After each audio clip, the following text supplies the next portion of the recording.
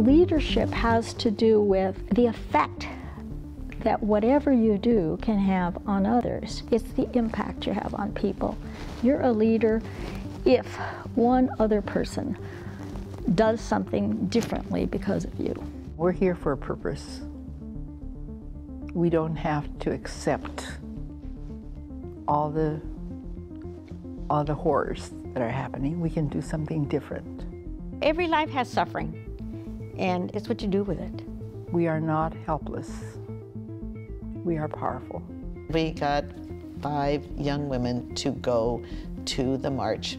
It was life changing, and they came back and said the millennial women are going to be the new social justice change makers in this world. What did Edison say? We cannot solve the problems with the mindset that created them. We have to have new, a new mindset, a new way of thinking. We just need to keep um, moving towards opening doors for people on the bottom of the pyramid.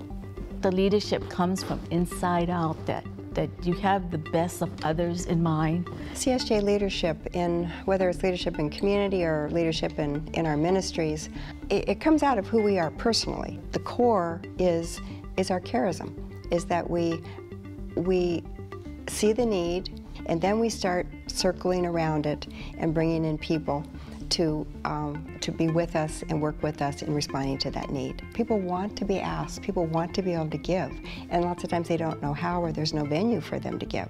And so I think that's our role as, as leaders is to make opportunities available for people to come in. You know, women have to stand up. Part of that, uh, um, all that a woman can be. You've got to know that you can do that. You can um, put your voice forward there. You've got an idea.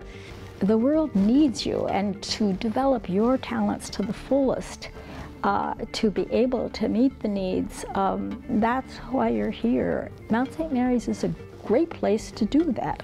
The Mount is a place where you can develop as a person your gifts.